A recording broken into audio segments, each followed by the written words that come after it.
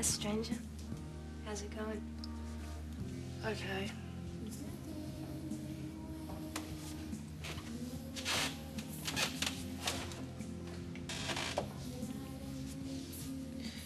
So it's like that, huh? Yeah. And to top it all off, my girlfriend dumped me. That's really funny, because I heard that you dumped her. Nah, she did it to me, but I deserved it. Have you tried talking to her? I was insensitive.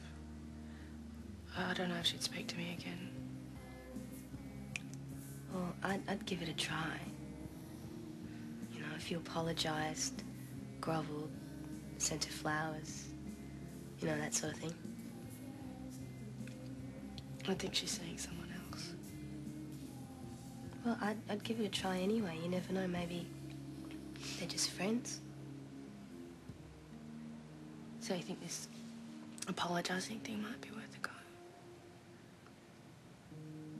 I think the groveling's very important.